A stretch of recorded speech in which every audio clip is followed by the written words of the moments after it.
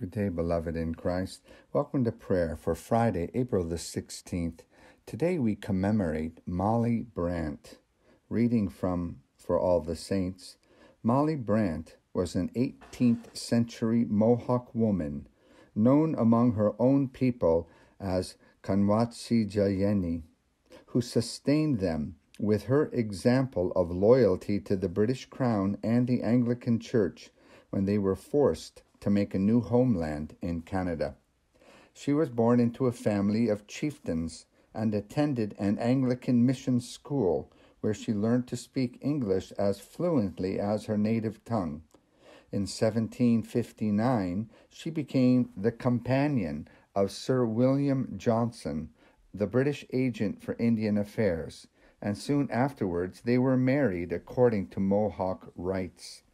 Though the union was not recognized by English law, the white community admired her dignity and wisdom in the ways of two cultures and continued to treat her with immense respect even after Sir William's death in 1774.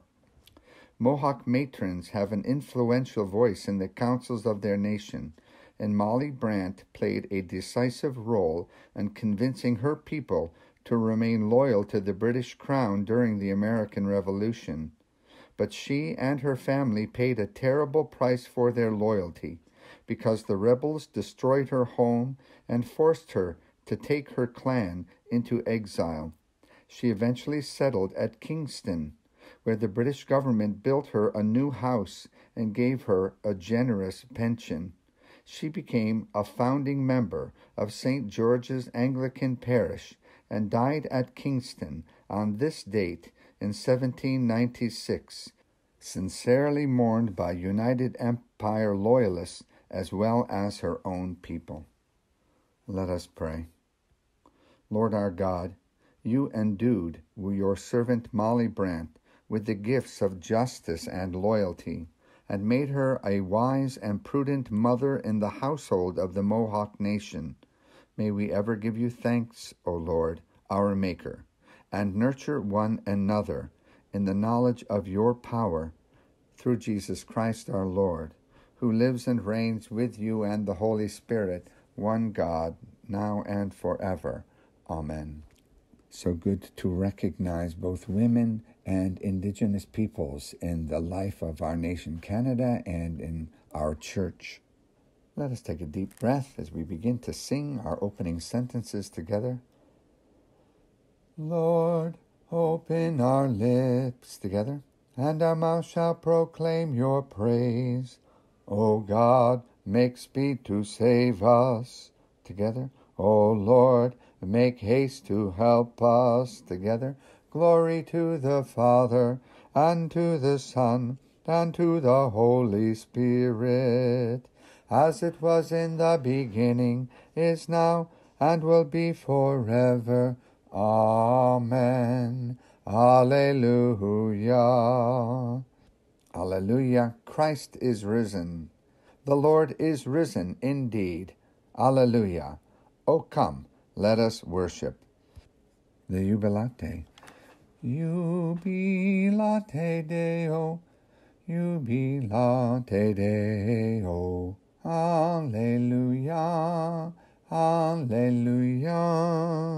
Be joyful in the Lord, all you lands. Serve the Lord with gladness, and come before his presence with a song. Know this the Lord himself is God. He himself has made us, and we are his. We are his people and the sheep of his pasture. Enter his gates with thanksgiving Go into his courts with praise. Give thanks to him and call upon his name. For the Lord is good. His mercy is everlasting, and his faithfulness endures from age to age. And so we sing together. Jubilate Deo, Jubilate Deo. Alleluia, Alleluia. Psalm 16 is a lovely prayer for protection and a declaration of faith remarkable in the Older Testament in verse 10 For you will not abandon me to the grave, nor let your Holy One see the pit. This may be a reference to the Messiah, the Messiah's protection from the power of death. Protect me, O God, for I take refuge in you. I have said to the Lord, You are my help, my good above all other.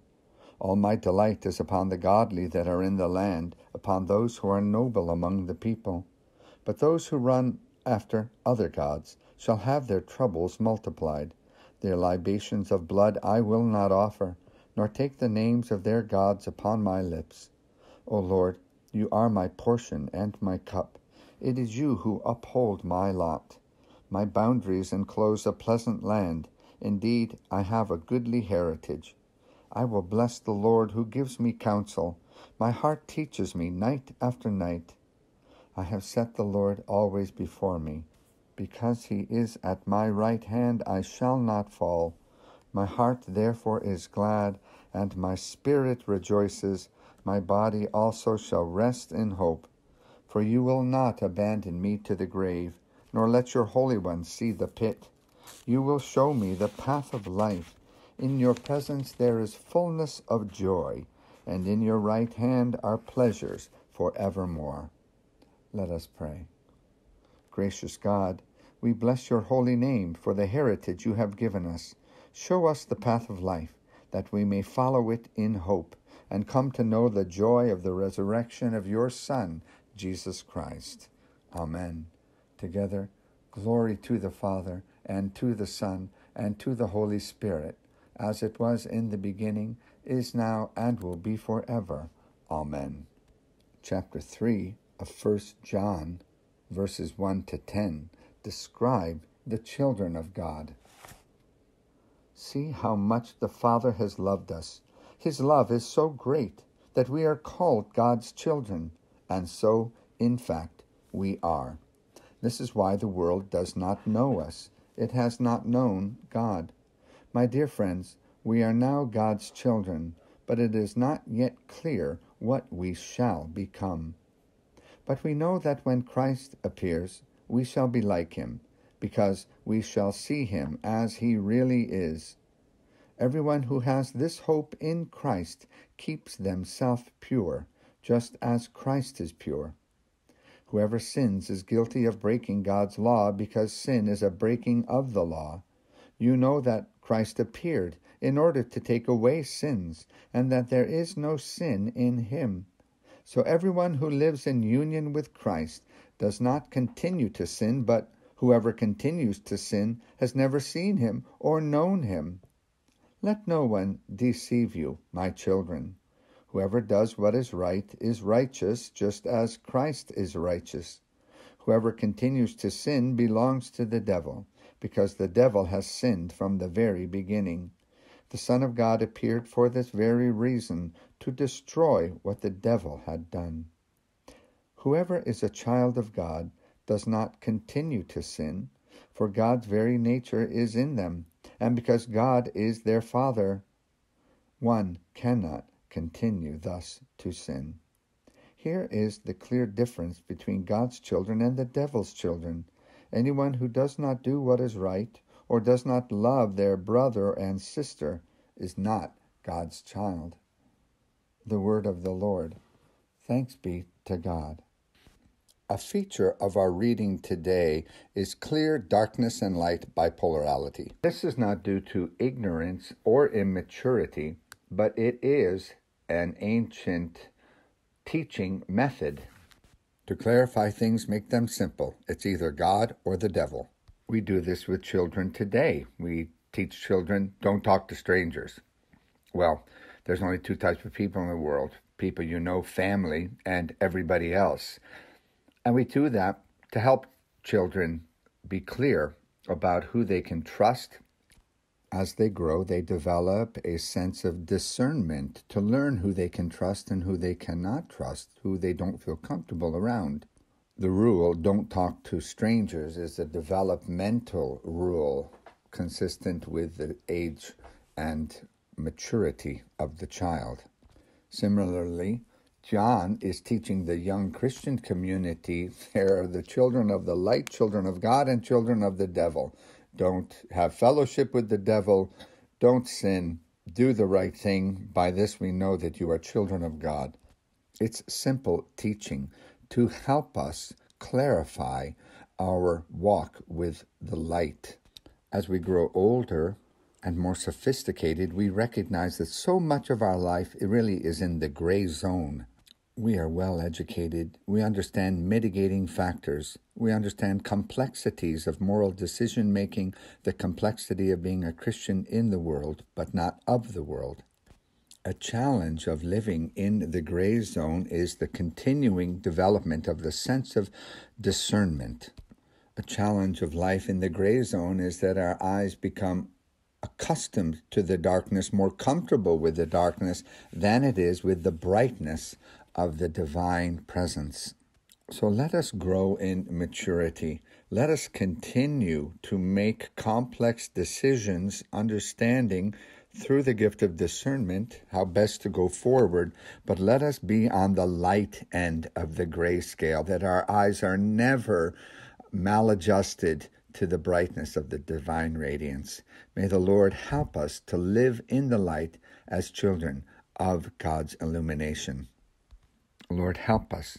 Lord, graciously help us.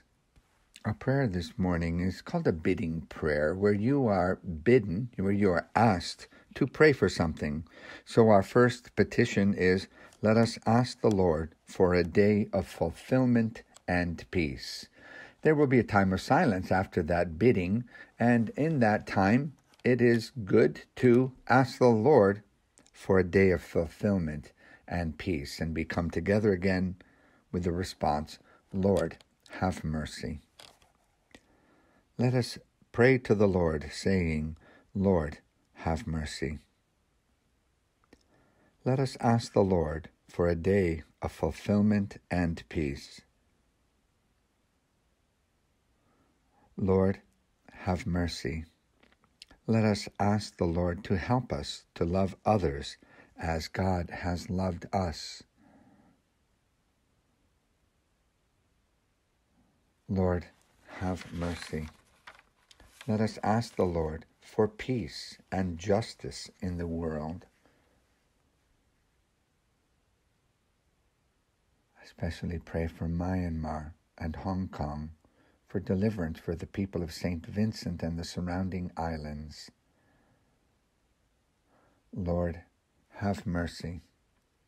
Let us ask the Lord to strengthen and relieve those who are in need. If you'd like to pause the recording to make intercession for those on your hearts, I encourage you to do so. Lord, have mercy. Let us ask the Lord to renew the church through the power of the life giving Holy Spirit.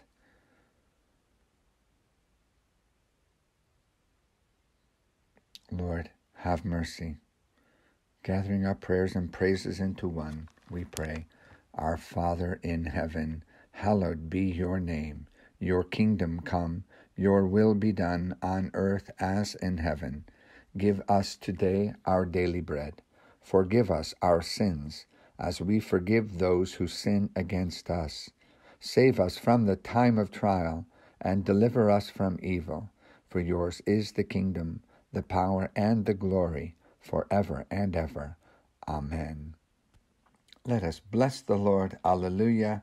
Thanks be to God. Alleluia. May the God of hope fill you with all joy and peace in believing through the power of the Holy Spirit, with the blessing of the Father, the Son, and the Holy Spirit. Amen. Have a blessed day today. TGIF.